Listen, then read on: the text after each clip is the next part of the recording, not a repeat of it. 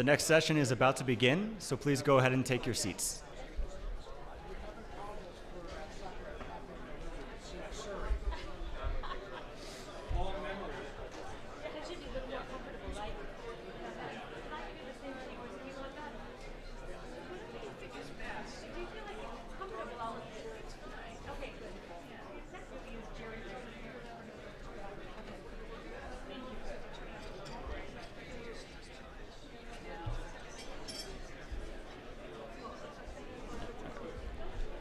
Good afternoon. My name is Eric Johnson, and I'm a 2014 Aspen Security Forum Scholar. I'm here to introduce the next session, The View from the West Wing. The President's Homeland Security and Counterterrorism Advisor gives us a peek into how the Oval Office sees the global threat picture and the administration's strategy for addressing it. The session will be moderated by Margaret Warner, Chief Foreign Affairs Correspondent for PBS NewsHour. As lead correspondent for the program's Overseas Reporting Unit, she makes multi week reporting trips to the world's hotspots at critical moments, most recently to Crimea, eastern Ukraine, and Kiev. Her overseas reporting has won her both an Emmy and the Edward Weintal Prize for International Reporting. And with that, the floor is yours, Margaret. Thank you so much. And I want to associate myself with David Sanger, who is as he said, particularly grateful that we have such a good crowd on a beautiful Saturday afternoon here in Aspen, but I'm not surprised given our guests. Uh, Lisa Monaco, who came to the job as the Counterterrorism and Homeland Security Advisor to the President from a long history in law enforcement. She had two very significant early mentors, both Janet Reno and Bob Mueller, and ended up just before this job. You took it in what, January 2013? March, but yeah. March 2013. Um, you were in the job that John Carlin is now at the Justice Department. So I know you just arrived last night, but there have been a lot of themes that have emerged here that really it was amazing consensus on. And I, I have to say, there's, it's not a pretty picture. It's a picture of a world in which the old threat seems to have been somewhat managed, but that it is a much more complex, diffuse, interconnected threat matrix that poses all kinds of new challenges. And so I thought maybe we just jump right into that. And sure. the number one that we've just heard in panel after panel is the growth of these ungoverned spaces, ungoverned spaces that ultimately, of course, can prove a threat to the homeland. And the number one example was this area now, what, 350 square miles in Iraq and this whole area in eastern Syria, controlled by whether you call it ISIL, ISIS, or the Islamic State. Do you consider the growth of that area and the territory they now control a threat to the homeland? I do, uh, and I do for several reasons. Um, perhaps not uh, on the most immediate or imminent level, but uh, for what it portends. Anytime, and I'm sure the, uh, the experts who've been on this stage before me over the last couple of days uh, have remarked, anytime where you have space, freedom of movement, ungoverned spaces, as, as you've mentioned, safe havens, call it what you will, freedom of movement for extremists um, is going to concern people in my job. So was the administration surprised by the taking of Mosul, for example? Look, I think um, our intelligence community has done tremendous work uh, uh, over uh, many years, uh, not just in Iraq, but around the world. Uh, I think uh, what you saw uh, in Mosul was uh, a, a, kind of a dramatic uh, escalation of ISIL, ISIS, Islamic State, call it what you will, um, ability to take and hold ground. And that's going to be the most concerning thing. And it's the type of thing that's going to be their greatest goal, which is, of course, to establish a caliphate. But for instance, was the administration too blasé? And that's, of course, such a pejorative word, so I don't really mean it that way. But about the taking of Raqqa, I mean, ISIS has been controlling Raqqa now and governing there for what, a year? Um, and eh, the attitude it seemed to be was, well, they'll burn themselves out, they'll alienate the local population. Uh, let's focus on the, on the Free Syrian Army and the moderate forces. In retrospect, weren't they establishing a beachhead there? Look, I think it's clear they've made, they've made gains there, but I think it's also important to remember that ISIS uh, and ISIL um, got pushed out uh, of Syria now uh, also uh, wended its way back to Iraq. So I think it's a very, very complicated picture. Uh, and what is clear is the brutality of the Assad regime uh, and what it has done there has been a magnet, a magnet to extremists. And the thing that I'm most concerned about, and again, I think you've heard uh, probably um, many times over the course of the last few days, is the unprecedented number of uh, foreign fighters right. flowing into that space, um, off the charts to anything we saw at the height of the Iraq War. And the particularly concerning thing, uh, of course, is unlike with the FATA, the proximity of this space, the borderless nature of it, the proximity of it to Turkey, to Europe, and frankly, to then being an e ticket away to the homeland is the thing that I'm going to be most focused on. So, as Mike Vickers, the Undersecretary for Intelligence at DoD, said, and many others have said in the last couple of days, of course, the only counterweight to something like that are local partners. That, that's part of the Obama doctrine. But when you're in a country like Iraq and certainly Syria right now, where you don't have local partners um, that are effective, certainly not in Syria, in retrospect, if you knew then, when you came into this job, what you know now, or if we took back to mid 2012, would you have been an advocate for arming the Free Syrian Army, as flawed as it was, as dominated by exiles? We know all of their problems, but in retrospect, would it have been better for this administration to have beefed up that force? Look, I think you can do a lot of um, kind of Monday morning quarterbacking on uh, that situation. What is true is we have provided a great deal of assistance to the uh, moderate opposition, and indeed, um, uh, the United States has been the galvanizing force to uh, and among uh, Syria's neighbors whether it's the Saudis, the Jordanians, the Turks, to provide assistance to the moderate opposition uh, and to uh, try and form a cohesive unit there. Now, we've made, we've made some progress, but there's a lot more work to do, which is exactly what the president talked about in his West Point speech. I mean, in terms of lethality, any member of the FSA will tell you, and I'm not just, I'm talking about fighters on the ground as well as their leadership that you know they just didn't have the firepower, they didn't have the training, they didn't have the weapons, and these young hotheads who are attracted to come and fight for this cause against this secularist Alawite apostate, you know, Assad, they want to be on a winning side. They want to be on a on a team that's actually out there kicking ass. And so that's the team they joined, including some Syrians who didn't originally, you know, philosophically or or religiously ascribe to their point of view, but they want to be you know, on the team that's going to win the Super Bowl. And the U.S., I mean, wouldn't you say the U.S. definitely has not given the FSA that kind of assistance? Well, again, we have given it quite a bit of assistance, and more is coming. And you saw a request going uh, to the Hill, uh, which we hope uh, the Congress will act on uh, to provide further assistance and to enable us to work with our partners, because this is not going to be done uh, unilaterally, right? This has got to be what we need to create is, in essence, a counterterrorism platform.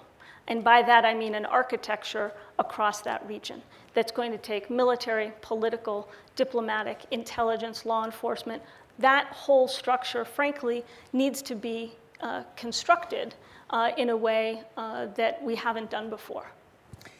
But you don't think, and I don't want to beat a dead horse here, but that, as Robert Ford said when he retired as, or left as ambassador to Syria, that we're always a day late, we're always a dollar short. I mean, the 500 million the president's asked for is a pittance compared to, I don't, can't remember who said it here, but a million dollars a day now that ISIS makes off oil revenues, they're running oil refineries. I mean, they're even outside the normal channels of terrorist financing that we used to be so good at frustrating, right? Using the international banking system or even the informal one. Um, what, the aid's not going to arrive till next year? Well, now let's be clear. There was 500 million that was requested for a uh, overt uh, train and equip right. program for the military to run. There was $5 billion right. that was requested uh, for counterterrorism partnerships throughout that region to uh, address the, the really just horrific destabilizing effects of the refugee flows uh, to Jordan, to Lebanon, to Turkey, uh, but also to build partnerships with other um, governments in the region. And frankly, we can't forget uh, northern Iraq and, uh, I mean, I'm sorry, uh, northern Africa and the Maghreb, where we're doing things like assisting the French, providing logistic support to address another safe haven, quite frankly, in northern Mali. Uh, But back to, but back to the one, the ISIS-controlled one or ISIL-controlled one. I mean, do you really think, I mean, do you have a strategy for dealing with them on the ground in some way without getting American boots on the ground, hobbling their ability to work? Yeah, and I think it's exactly what the president talked about in his West Point speech. And again, you can't look at these things in isolation. And as you've said, Syri- the arc between Syria and Iraq, the flow of fighters, money, weapons um, uh, that ISIL is making use of, that has got to be addressed first and foremost by the Iraqis. And we've sent 300 plus um, uh, military forces in there, both to protect our people, which is first and foremost our responsibility, protect our people in the US Embassy there, and to assess what are the capabilities, what are the best units that we can work with in the Iraq security forces to, uh, to take the fight to ISIL. You know, at last night's dinner that some of us went to at Jane Harman's, there were interesting side conversations, and I won't quote anyone since everyone had had a glass of wine or some margarita. Then I was you would. I'm sorry you missed it. But there was a conversation among a number of knowledgeable people about how really President Obama will leave office having gotten out of Afghanistan, gotten out of Iraq, probably, sort of. Uh, but this is now going to be a problem for the next president. This isn't going away soon. That the next president's going to be faced with have we done enough there to hobble this caliphate, or this caliphate wannabe? Or, in fact, is America going to have to get militarily re-engaged? Do you all talk about that in the inner councils? That, Absolutely. That there's a whole new festering problem being created here? Yeah, I mean, I think when you, how we think about it is, you've seen a number of different strands, right? Sunni extremism in the form of um, anti-Western uh, and homeland plotting and the like. You've seen the rise of uh, the Arab Street in response to the Arab Spring. Uh, but you've seen, and I think all three arguably are present in Iraq. Uh, and the, the last piece here is the really heightened sectarian violence. And that really is what is first and foremost what's going on uh, in Iraq. But arguably, you're seeing all three manifestations in Iraq and Syria. And that um, very uh, certainly is the, is the thing we've got to deal with in the immediate, medium, and the long term. So you referred to the problem of the foreign fighters. I think it's the new 9/11 Commission report. We've heard a lot, lot of numbers here the last couple of days, but said there are 1,000 foreign fighters at least in the Syria-Iraq region. Uh, uh, in the four digits are Europeans with Western passports and 100 Americans. What's the strategy, the near-term strategy for dealing with that? Look, I'm telling you, this is the, um, the thing that keeps our counterparts in Europe um, uh, up at night. Uh, everyone I talk to, my counterparts in England and France and Turkey and other places that are most kind of on the front lines of this, this is what they are most seized with. Our strategy is um, uh, severalfold. First and foremost, we've got to do better at sharing information amongst those governments uh, so that we can also assist some of those governments, particularly the Turks, in uh, doing what we've done a good job of over the years, which is identifying foreign fighters of concern and identifying them, frankly, before they get on a plane. Yeah, because there are a lot of them on those planes. Yep. So sharing information, building up that infrastructure, building up those partnerships, uh, deploying and assisting our partners uh, in using some of the cutting edge technology uh, and intelligence tools that we have to uh, address the foreign fighter problem. Uh, those are, those are going to be the first line of defense in keeping those folks from coming to the homeland. This is more of an organizational question because that's been another theme of this conference is that the, uh, the sort of structure with which we deal with national security uh, and homeland security really is back from the 19, 1947 post-war. And we'll get more into that later, but here's a very specific one. Both you and Jeh Johnson, the Secretary of Homeland Security, say this whole Syria, ISIS, ISIL, Iraq problem is now a Homeland Security problem. Was Homeland Security at the table when Syria policy was being decided?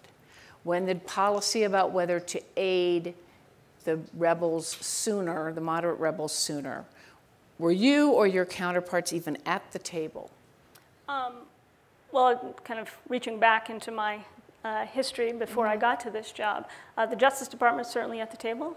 Um, I think the Homeland Security Department is at the table. But I can tell you that the Homeland Security Department is at the table in all of these discussions about our um, Syria policy and our foreign fighter policy. Absolutely. And that's been true all along? That's been true as long as I've been in this job. Because so. President Obama said he wanted to eliminate the distinction between national security and homeland security. But do you feel that's been that's happened? Uh, I think in that in an organizational, sort of bureaucratic yeah. way. I, I, think that um, my job uh, and the uh, where I work is the embodiment of that. Now, have we, have we gotten it 100% right? No, but um, my title, Homeland Security and Counterterrorism, um, uh, means I am dealing with everything from pathogens to cybersecurity to uh, domestic terrorist activity to international terrorist activity. And that bespeaks the fact that these things are increasingly uh, intertwined. Are you satisfied with the way that integration is taking place, or do you think that more could be done? I think we can always do more to make sure that we're identifying um, all the potential ramifications to the homeland. That's my job, right? Everything, I'm thinking constantly, my core mission is thinking, how is this threat, whatever it is, a bio threat, a cyber threat, a terrorism threat, how is it going to manifest itself here or against US persons overseas? That is my singular focus, and I think that was the rationale behind the creation of this position.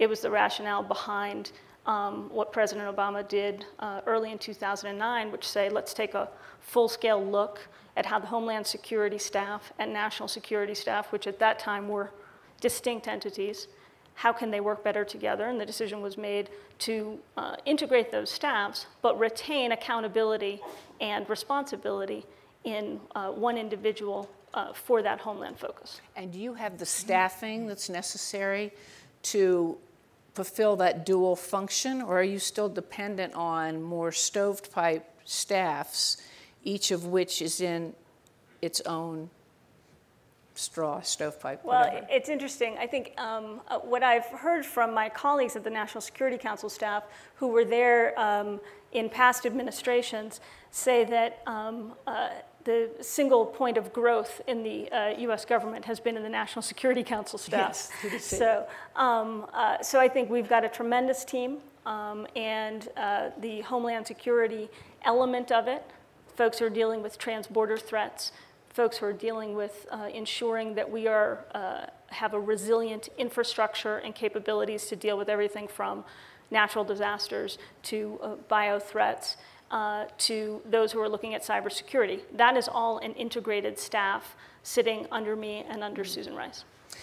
Now, the top military person from the administration, the Joint Chiefs Chairman Martin Dempsey, was here the other night. And in talking about the Iraq and Syria situation, but particularly the Iraq situation, um, and reflecting this sort of Obama doctrine, which is no American boots on the ground, we look for our, a partner has to be capable and willing partner. And every question about what was going to happen in Iraq got back to getting the Iraqi government and Maliki, who, despite five years of being jawboned by everyone from Joe Biden on down, has refused to do it, to, to agree to an inclusive government. I mean, is that the one card on the table? And what if that doesn't work? So first and foremost, uh, you're quite right. We're very focused on getting a government there with whom uh, is going to who is going to be a capable uh, partner. I will say uh, the Iraqi government. Um, uh, has uh, asked for and received a great deal of assistance from the United States government, and increasingly over the last year, to, um, to help it address the threat from ISIL. But that's military assistance military assistance as well as um, uh, political and economic and other assistance. It's mm-hmm. got to be a holistic uh, approach, which I suspect is something that the chairman also said. Um, uh, so a inclusive government uh, is first and foremost going to be uh, the best ingredient to that capable and willing partner. However, uh, from a counterterrorism perspective, from a security perspective, we've got to be able um, to uh, work with partners in the region uh, if to combat that threat if in fact we don't end up with a Iraqi government that is as inclusive as we'd like to see it. So you are developing a plan B. Yes, Would you like to share it here? You could make news. I could. and oddly, I, I won't. I understand that, but I wanted to give you the opportunity.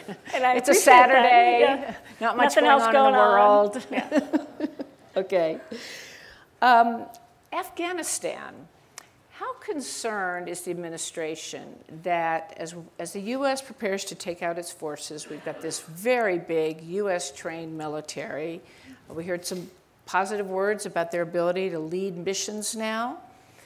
But that again, the politics may break down. And when the politics break down and the country splits along factional, sectarian lines, that once again, militarily it will break down.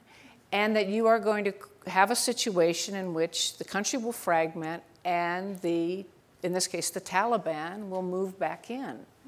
In other words, has the Iraq experience of the last six months caused you to reassess the plans for Afghanistan and the expectations? So the, the president was quite clear uh, about uh, the plan for Afghanistan. Um, and we are working very hard, and Secretary Kerry, as you've seen in the last uh, couple of weeks, um, uh, in his indefatigable way, uh, was, uh, was off in Afghanistan um, uh, trying to uh, assist the parties there uh, with the uh, election uh, issues. Um, so the focus there first is to transition, as we have done over the last um, uh, several years, to uh, have the Afghan people in a place, and the Afghan security forces in a place where they can take control, and increasingly they have been doing No, that. and General Allen told us that. He Yep. thought they were there. But, but, but the political, uh, you know, the, the news story in the Times today is that the Kerry deal is, is of two weeks ago is fraying at the seams again. Um, I, I'm just wondering if you have, it's more how you all operate inside. In other words, you say, ooh, look what happened in Iraq. Do we need to go back and rethink what we're doing in Afghanistan and how we approach it? Well, I think the, the principles are the same. One is, first and foremost, responsibility for the governance and security for, should be the Afghan people's. Second is, we are, and we've uh, laid out a plan, the president's laid out a plan to uh, continue to have forces there to do two missions.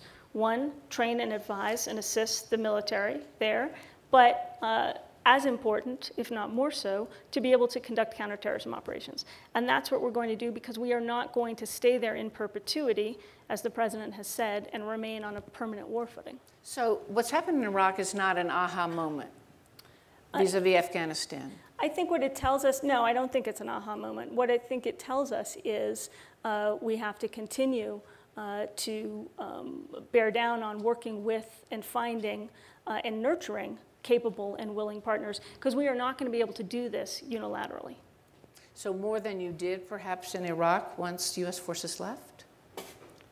More, stay more engaged than you did in Iraq once U.S. forces left. Well, we've been very engaged, as, and as you've said, there's been, uh, I don't think there's anybody who's been more engaged on the phones with the Iraqi leadership uh, than Vice President Biden. Um, and we've had an extremely able and continue to have an extremely able um, uh, ambassador and presence there. Um, but the Iraq uh, government did not want our forces to stay. That was, that was clear, and that was true. Um, notwithstanding that, we continued to work with them on a political level and continue to provide assistance where they have sought it and where we've been able to provide it. And of course, Senator McCain disputes whether he did or didn't want to, but believe, we- we've all heard that argument many a time. uh, but, it, but would you say bottom line is it hasn't been effective uh, uh, on the political level? That Maliki has, has resisted all There, there's no question that uh, he has not um, taken the steps to, uh, towards inclusivity that we have wanted him to take. And in large measure, um, that is, we're seeing uh, the fruits of that um, in the Sunni extremist violence that has, um, that has increased over the last several months. So new topic, new, fairly new event, Ukraine. Um, not that Ukraine and Russian actions in Ukraine is brand new, but certainly the shooting down of the airliner by a non-state, someone today described it as a sub-state actor, using Russian-made equipment. Uh, what homeland security ramifications does that raise to you? So uh, it's a lot of um, uh, discussion around that um, topic and some of the aviation incidents that we've seen. Um, I think what it uh, reinforces is obviously the danger of weapons um, transiting borders to uh, unstable actors. Now, in this instance, as I think we've said quite clearly, we believe this was uh, conducted, the shootdown was conducted with an SA 11. Um, which is uh, capable of uh, shooting down an airliner operating at the, um, uh, at the altitude that this one was, some 30,000 feet, uh, and so was not uh, a man pad, which is the, uh, the type of aviation security issue you're going to be concerned about. But the bottom line is the transiting and porousness of a border in an unstable and potentially ungoverned space, here again back to our theme, uh, is going to potentially pose uh, homeland security uh, and U.S. person security issues because um, now there was one dual U.S. and Dutch national on that plane.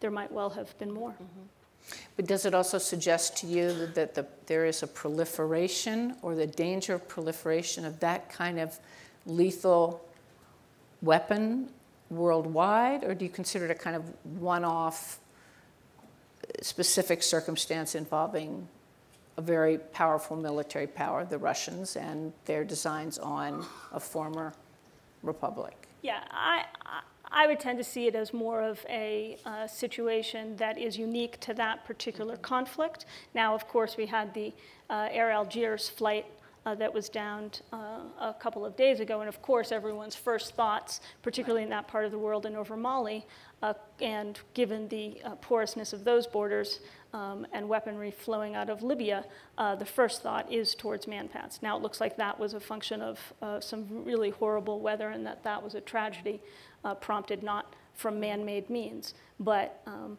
the, the Ukrainian um, shoot down, I think, or I should say the shoot down of the MH17 uh, aircraft uh, from uh, Russian separatist controlled territory is, I think, unique to that situation. Now, General Dempsey said the other night that certainly the military was developing at least plans or options for the president in terms of greater assistance, greater lethal assistance for the U- Ukrainian military. So, how seriously is the president weighing that? Weighing giving them what they'll tell, they tell all of us they want, which is not just intelligence sharing or meals ready to eat or bulletproof vests or night vision goggles, but they need anti aircraft equipment, weaponry to shoot down, and first of all, to detect in real time these missiles and to shoot them down. So, uh, look, the president's going to carefully consider um, any options that are presented to him, but I think. Um, the, uh, there is a real concern with the proliferation and the potential misuse and ability for something like uh, a manpad or a shoulder, shoulder fire missile um, uh, weapon uh, to be able to not stay in the hands to which it was intended. Mm-hmm. And uh, would you say the president's reaching a decision point on this? I'm not going to get ahead of either the chairman or the president on that. Okay.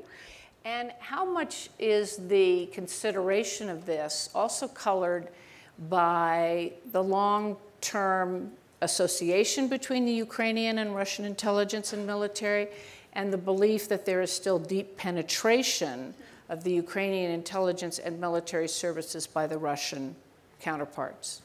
I think, uh, as we do in other instances where we're dealing with a, a partner service or a service that we're going to provide assistance to, we're going to make very well sure uh, that we're confident uh, in uh, the ability of that service uh, to use that material and use it consistent uh, with the purpose for which it's intended.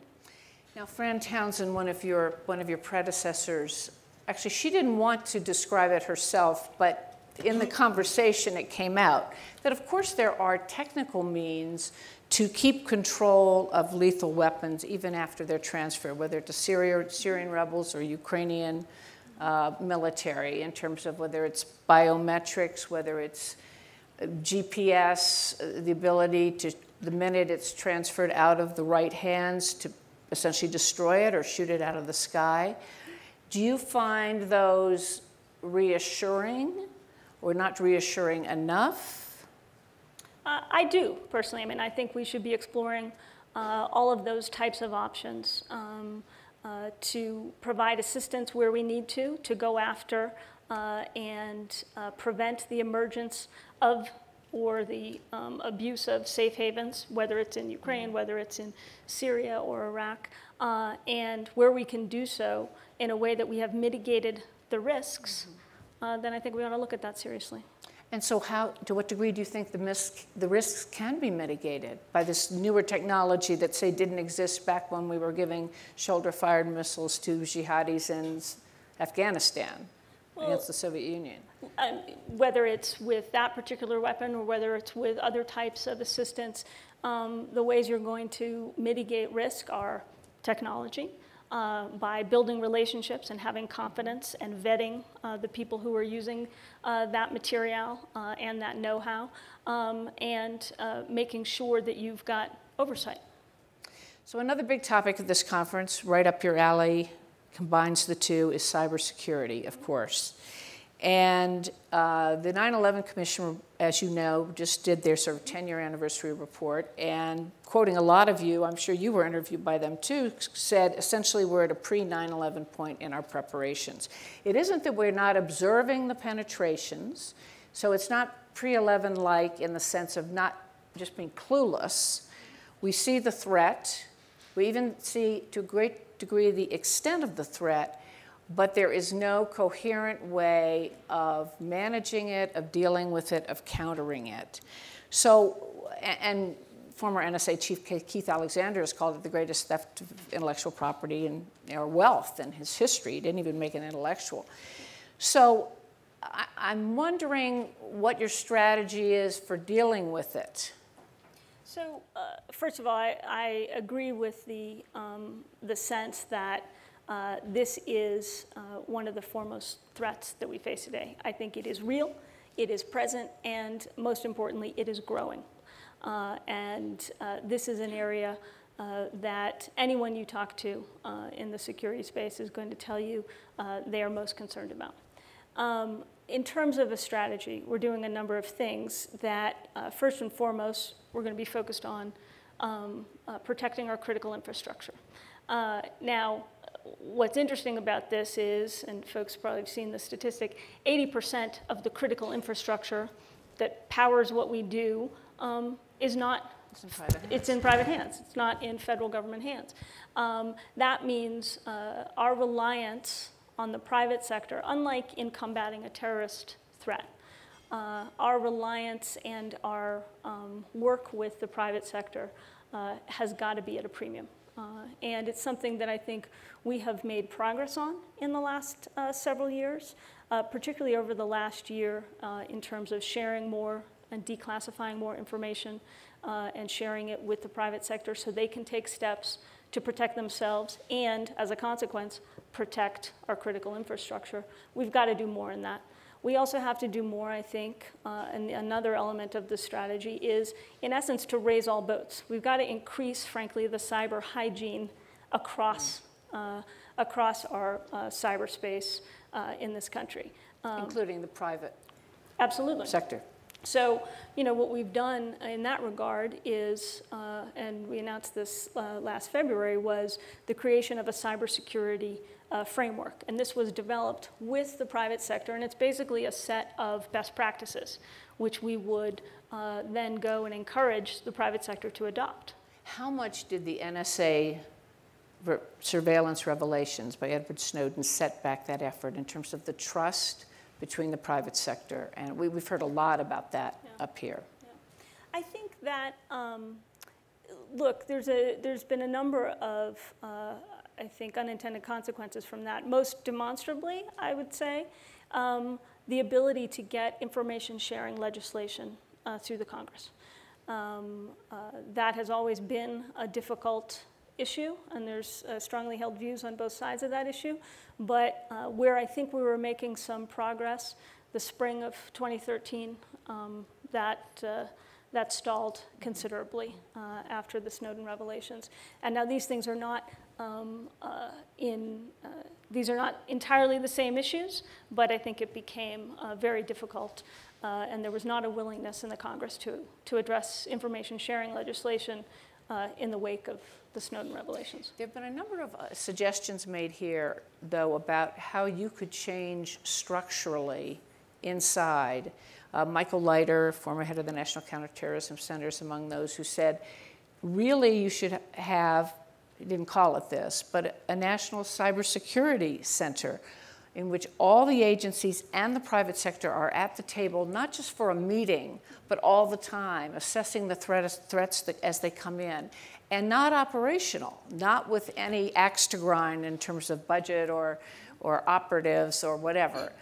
Is there any serious thought being given to creating some kind of structure like that that could serve then you all at the NSC by integrating all of this information and coming up with a consensus about it? So I think there's some wisdom in, uh, I think, the idea behind that, which is um, uh, co-locating and integrating people's efforts. This is um, one of the great lessons, I think, from our ability on the counterterrorism front that I think we need to apply, uh, and I think we need to do more of this, uh, applying the lessons we've learned over time in combating the terrorist threat to combating the cyber threat. Uh, whether it's structurally, whether it's legally, whether it's in our relationships with the private sector. Um, these are things we have done, a, I think, a very good job over the last decade in building up structures, building up what I call muscle movement and muscle memory in terms of responding to, understanding a threat, and then getting all elements of the government to address it and use one of any number of tools to disrupt that threat. So then why are we still at a pre-9/11 moment and getting ready for a cyber attack? Well, I think that there has been a growing uh, understanding and appreciation for the threat, um, but it is much more difficult. Uh, there's some there's some th- there's some areas where I think the terrorism analogy is not as clean. So, for instance, um, uh, an intrusion is not always susceptible, and rarely, quite frankly, is susceptible at first blush of knowing what the origin of that intrusion is. Uh, so, is it a, a state actor? Is it a non state actor? Is it a terrorist? Is it a kid sitting in his basement um, uh, becoming incredibly proficient uh, at hacking? And how we choose to deal with that threat, given the origin of it, will, will, take, uh, will take different forms. I should say, though, to this observation about a center, uh, people should not uh, think that there isn't that kind of work already uh, going on. That there is or isn't. That they should not think there isn't that kind of work so going there on. There is. And I should give a shout out uh, to my former boss, Bob Mueller, for being a real visionary uh, in this area uh, in terms of setting up a structure, something called the NCI JTF, where you have um, uh, analysts coming together from all the different agencies who deal with cyber threats to look at the cyber threat picture and understand it. And you see that evolving more towards really a center?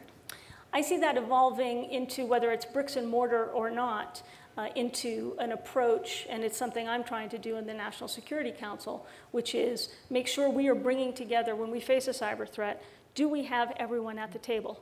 Literally. Do mm-hmm. we have everyone at the table? Do we have a battle rhythm to say, all right, we're seeing this threat. What do we understand about it? What is the intelligence picture? Are we drawing from every um, element of the government who might have something to say and some knowledge about this threat? Let's assess it. Now let's figure out how we can go out and disrupt that. Is it what tool in our arsenal should we be using? You know, your, your mention of having everyone at the table reminds me, and this goes more to the Snowden NSA surveillance question. Uh, Stan Charney from Microsoft, who I gather you worked with at the Justice Department long ago with Janet Reno, was talking about this was on a panel about the both the legality and wisdom of the whole NSA surveillance program, and there were several panelists and got to stand, and he said, uh, Well, we keep hearing the same arguments that it was all legal and it was approved by the courts and blah, blah, blah, blah. He said, But we never hear about the broader national security interest. That is, that in the conversation about whether to do it, whether, as he put it, to scarf up all the data we can, there was no one at the table saying, Well, what about our global IT business and does our national security rely on it continuing to be the most competitive and dominant industry in the world. He said, so it was never even put in the calculus. Does he have a point?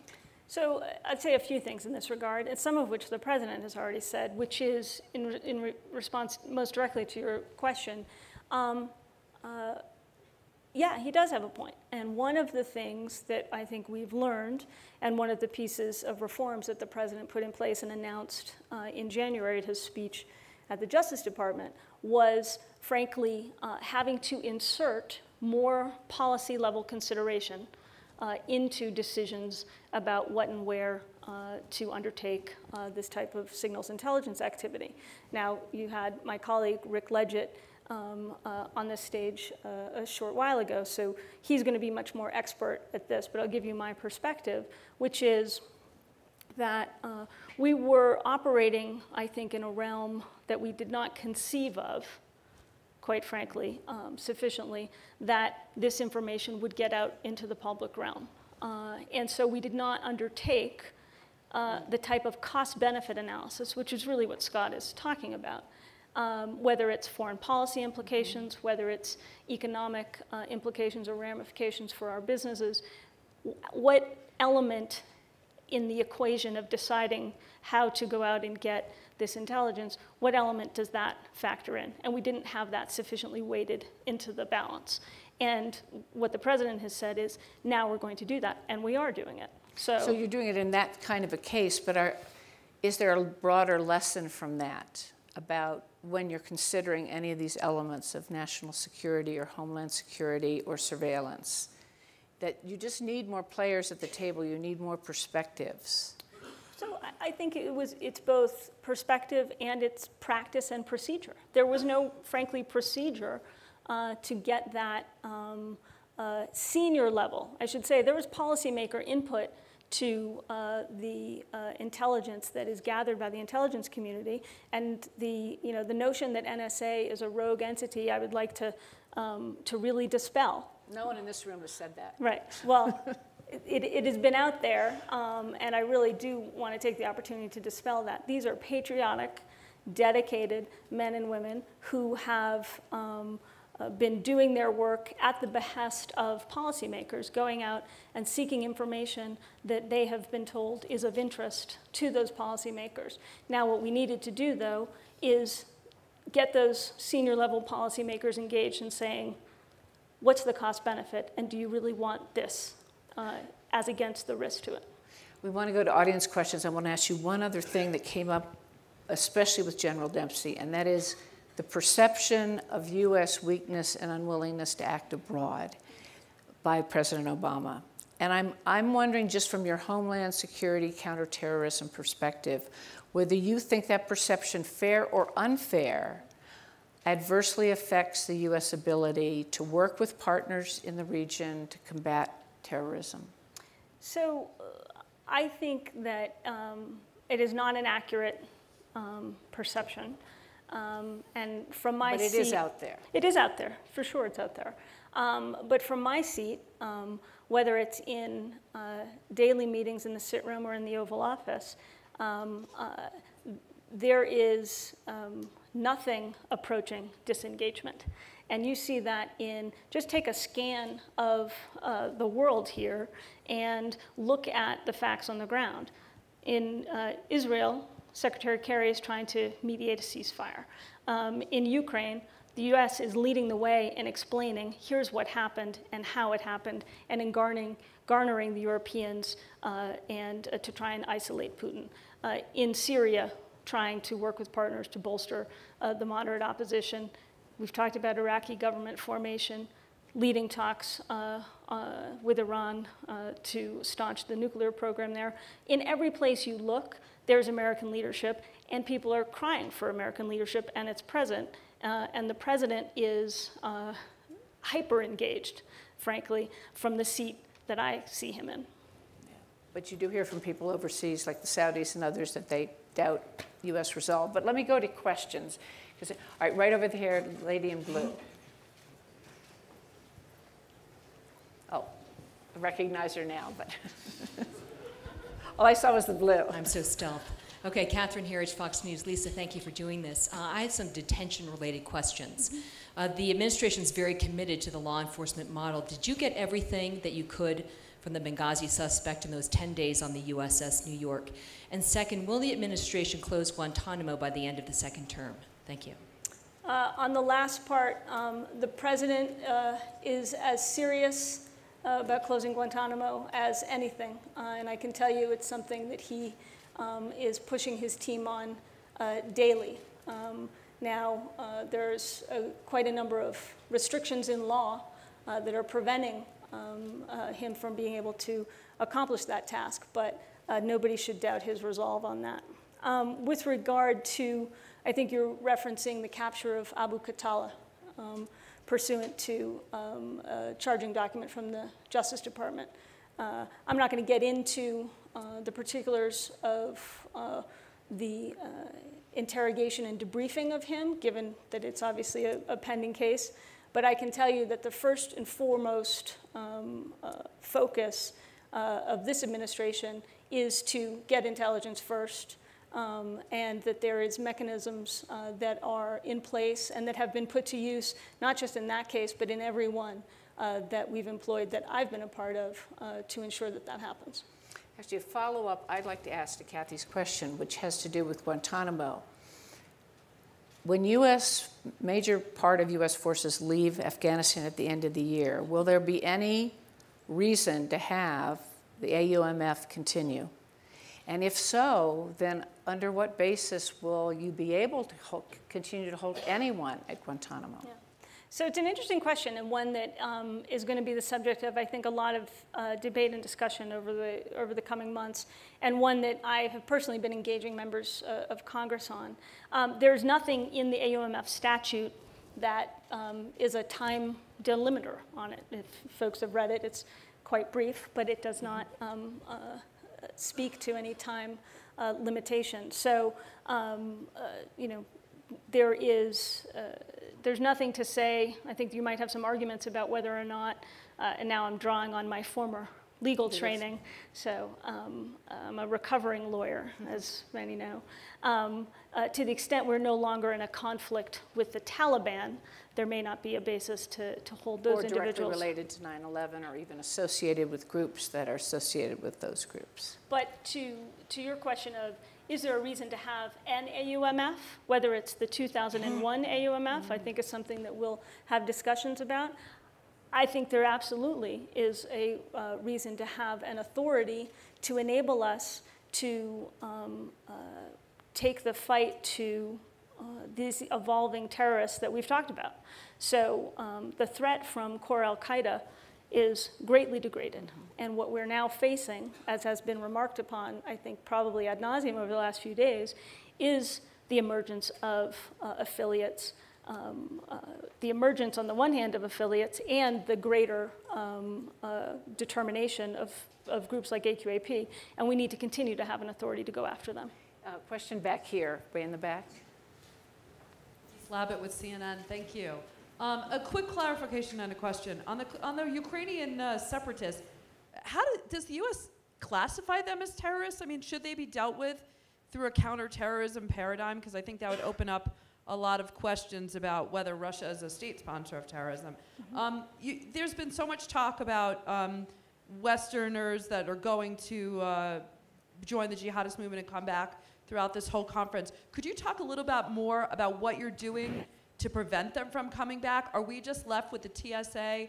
Do you have the resources that you need? Do you have enough Arabic speakers? Do we need more human intelligence on the ground um, in neighboring countries to make sure that we have a better handle on that? Thank you. So on the last piece, um, look, I, I think uh, more more human intelligence, more um, uh, information from our partners, that's all going to be to the good. So you're not going to find anyone in my job who doesn't want more intelligence uh, on that problem. Uh, in terms of what are we doing uh, to ensure that uh, those foreign fighters aren't getting uh, on planes and coming here, uh, it is a real concern when you're dealing with Western passport holders and those who are um, holding passports, particularly from visa waiver countries. Uh, so uh, that, that means the premium is put on the ability to share information amongst governments so that they know, when the French know, for instance, that one of their citizens has traveled to Syria and traveled back, and that their services, we're going to be relying on their services uh, to make sure that they're sharing with us information about that individual before he gets on a plane uh, to come here. Now, one topic I didn't get to, but I, has come up a lot, so I'm going to encourage audience questions. I'm looking at Diana Negroponte right now, which has to do with the whole border unaccompanied minors, which is in Lisa's portfolio. So, would you like to ask a question? I don't usually call on people, but you have a compelling one. Ms. Monaco, I would, I'm Diana Negroponte from the Woodrow Wilson Center for International Scholars and I'm a scholar there.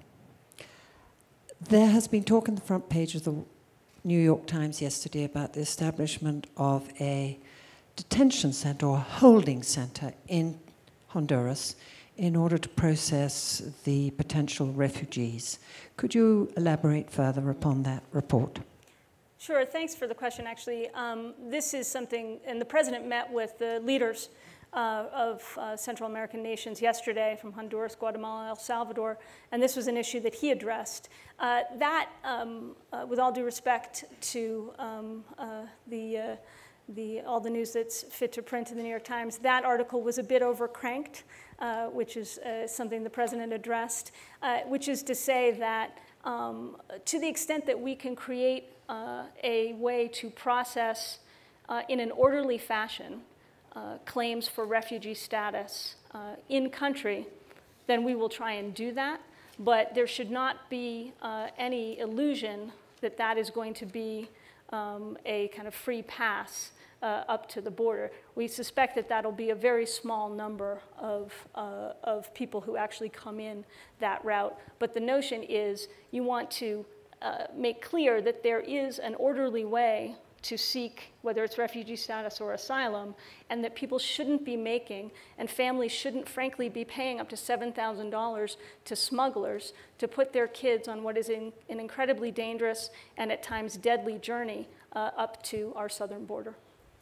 Do you agree with Jeh Johnson, who thought he said that the numbers had peaked at, on June 10th and that not that every day they go down, but that the trend line was down because he'd been able to surge resources to this issue.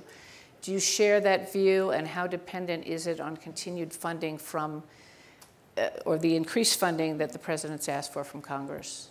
So um, we have seen, I mean, the numbers are clear. We've seen um, a diminishment in uh, the apprehensions over the last uh, uh, couple of weeks. We cannot be sure and we can't declare victory and there's no um, and we can't frankly take our foot off the gas in, in addressing this problem. So we can't be sure that that's going to be sustained um, which is why uh, we need uh, both to have surged the resources we have to deal with this issue uh, and are seeking the resources that we're very hopeful that congress uh, will act on uh, to help us address this problem.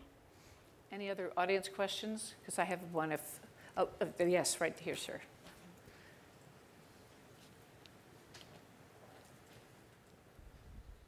Craig Pariseau, just very quick, where is Mexico in the conversation around the border challenge? Um, they've been a, a very uh, willing and helpful partner, and the president has been uh, has talked to President Peña Nieto several times. Uh, I've talked to my uh, counterpart at the Ministry of Interior there several times. Uh, they are doing a taking a number of steps to address their own southern border uh, which is uh, a key factor. Them getting ahead of that and getting control on their southern border is a direct, uh, has direct effect on our ability to address folks making this very dangerous journey. There was a question in the back. Yes, sir.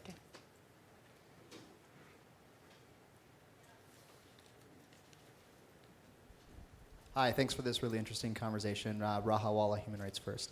Um, so I wanted to follow up on something that I think you said uh, a couple minutes ago about counterterrorism authorities.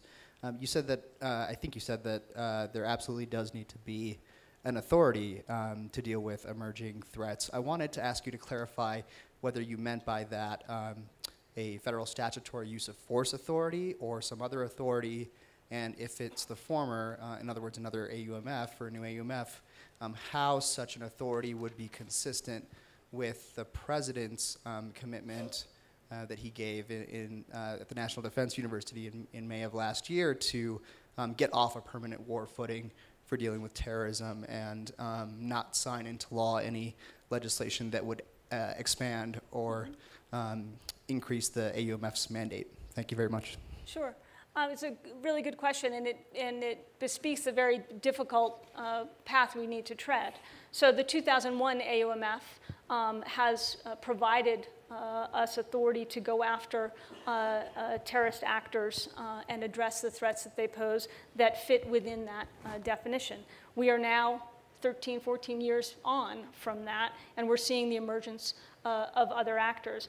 The president said at NDU was that he wanted to refine and ultimately repeal that authority. Um, it does not mean, however, that we wouldn't want to seek uh, a narrowed, potentially narrowed version of that uh, to allow us to go after and address emerging terrorist threats uh, that uh, may not come under uh, this current 2001 uh, authority because uh, I think it is his preference to always be acting um, with uh, congressional and statutory authority when at all possible. Have you started those discussions with Congress? Yes, Yep. So that's very much in the works. it is. Well, we are out of, oh, are we totally out of time?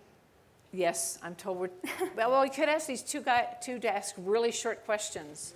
Do you want to I'll take have to one give more really question? short answers. Bang, bang, but they have to be very short questions. And the gentleman in the back in the red shirt. Me in the short question. Yeah, Steve, Hi, short. Lisa, thank you. Hey, A quick question about HVE, CVE, E, combating violent extremism at home. Mm-hmm. And from the National Security Council perspective, I know that the office that dealt with uh, violent extremism, un- uh, there was an office, it was under Q, and it got moved around, Q left, and it was under your office, and then it got switched over to uh, Amy Pope's office on, on border, and it sort of doesn't have its own title any longer, and, and it gets that kind of reaction when I ask other people.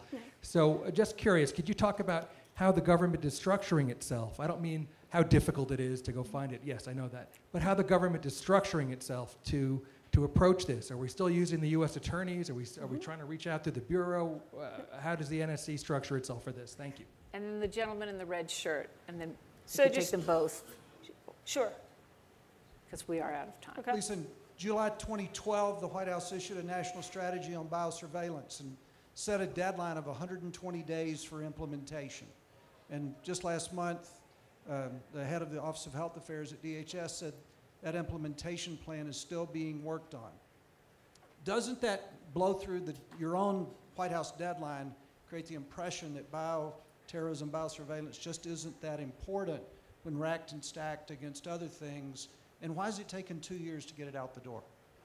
It's a good question, uh, and one uh, that I also intend to answer for the members of Congress who wrote me the same letter with the same question. So, um, but uh, uh, uh, with, with respect to Steve's question, I know we're, we're running short on time. Um, very quickly, yes, um, through the U.S. attorneys as being kind of the convening body uh, across, uh, across state and local communities, uh, they uh, can serve a unique function in bringing together both community representatives, law enforcement, uh, and uh, other elements of the community, medical professionals uh, and others, et cetera. So that is the kind of governing structure uh, with, with the communities.